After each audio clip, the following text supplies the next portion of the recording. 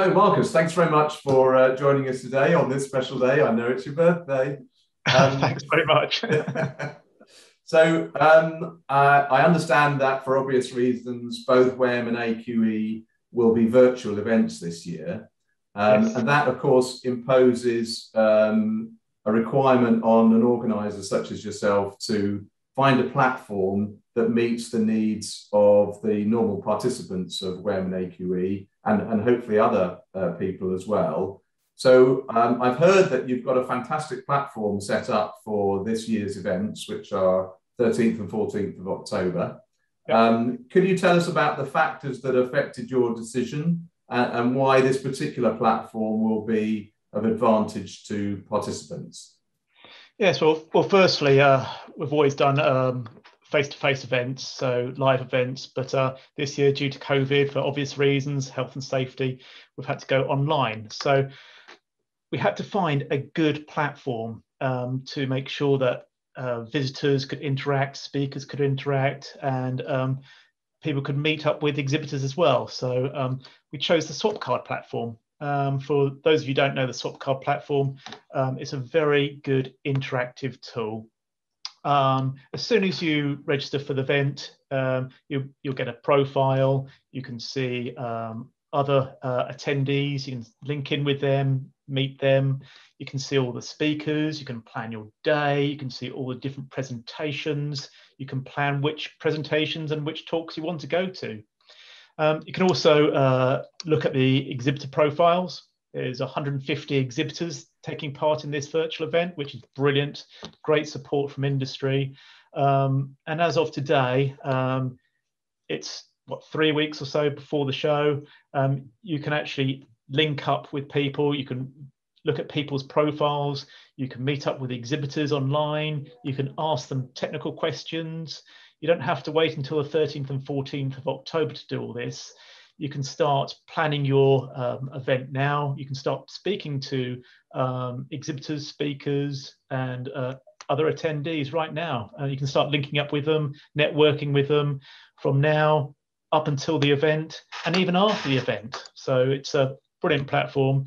Um, everything we're doing on it um, is all uh, recorded as well. So the live events will also be recorded so um, visitors can watch the um, event time and time again up to about six months after the show. So if you've missed a, a presentation, don't worry, you can come back and uh, view it again um, at your leisure that night, the next week, the next day, um, six months later. So do you have to be pre-registered in order to have that ability to watch uh, the presentations later, or can yes, you can you register at any time? Um, it's best to pre-register now um, because after the uh, 14th of October, there'll be a paywall. So okay. best to um, register now. You get all the everything's free. So as soon as you're um, registered, you have free attendance. So right. best to start uh, planning now, and don't wait until the 13th and 14th because you've got a lot of people to talk to. So how does that actually work? How, you know, once you've um, pre-registered, um, how will you find out who else is going and how will you um, arrange to talk to them or meet them or network with them? Oh, that's easy. Um, once you've registered, you'll be able to see all the other attendees. And so you'll see a rough profile of them, uh, company name, job title, their name, and you can simply link in with them. Um, you won't have their uh, contact details straight away unless you link in with them. They have to accept your link and then you can network, start your networking. You can start um, contacting speakers and ask them questions before the conference. So even better. Okay, sounds good. A bit like Tinder for business. Absolutely. Not that I know, obviously. um, so, um, for those people who are thinking of attending, how, how would you define the, the, the, the work areas of those people that should attend? Is it the same as normal for a WWEM and AQE, or, or would you expand that definition? Well, I think you could probably expand it because we've got so much going on at, at this year's event. Um, running um, AQE, the Air Quality and Emissions Show, so there's uh, lots of information on uh, air quality networks, indoor air and public health, sensor technologies, climate change, low emissions monitoring, mercury, mercury in um, air emissions, uh, biogenetic uh, carbon measurement. That's on the air side. But then on the water side, for WWEM, water and wastewater monitoring, it's um, we've got a whole analytical um, part of the show, which is on uh, analysis and testing for microplastics, PFAS, uh, COVID analysis. And then we've got um, Oliver Grievson joining us again from WIPAC, who's got his Flow Forum. He's got a, a net zero roundtable happening as well. And also um, there's topics on managing data and measuring techniques. So it's something for everybody. Anybody who monitors, measures, tests water, air should be coming along. Okay. So that covers everybody from uh, researchers, consultants, academics, um, process industries, people who are having to do compliance monitoring. Um, you've got the environmental, presumably environmental health officers in local authorities, um, and, and, the regulators as well. I know that some of the presentations are talking about uh, the regulations that apply to environmental monitoring. So I, I guess it, you, you kind of say anybody who has um, an interest in environmental monitoring would, would be ideal for this type of show.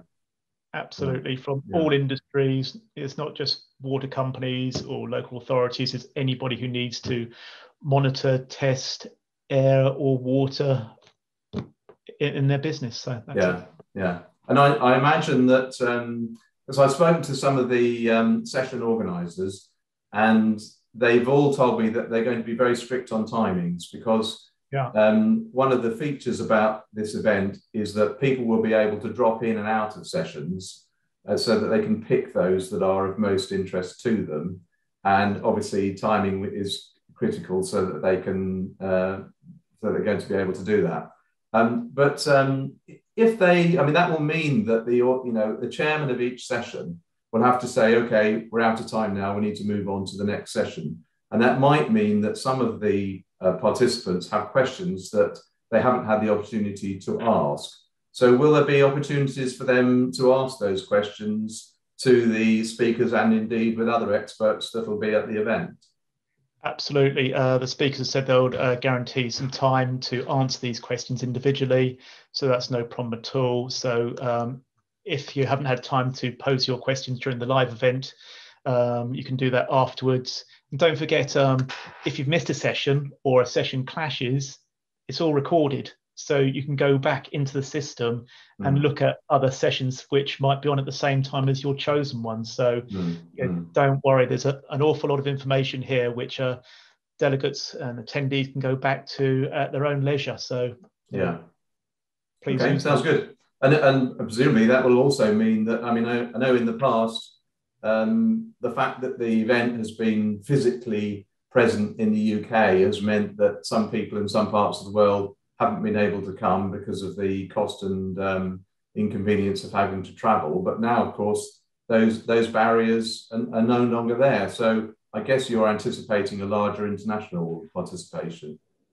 Absolutely. We've already had uh, over 22 different countries register for the event already. Mm. And so we've only just opened up registration. So, mm. you know, we're really pleased with how that's going and the international um, interest in the show. So, good mm. news. Mm. Yeah, yeah. Well, it sounds great. I'm really looking forward to see how it goes. So, um, presume, well, will you be adopting this format going forward with future WWEM and AQE shows? Um, yes uh, and no. Um, it's going to be a hybrid. Okay. so we'll have the live event, um, and also we'll have um, we'll tape record it. We'll have it also um, as a you know people can watch it online at the same time. So again, we'll be aiming to attract people who can't um, attend physically in the future as well, or they live abroad or work abroad. So yes, so we're looking to expand on the event and make it a hybrid. For right. And is that in 2020? 2022, yes. next year, yes. Next year. It'll come around very quickly, don't, don't yes. worry. So next year it'd be the best of both worlds. Absolutely, yes. Fantastic. Okay, that's fantastic. Thanks very much for your time, Marcus, and looking no forward problem. to the event. Great. See you soon. Cheers.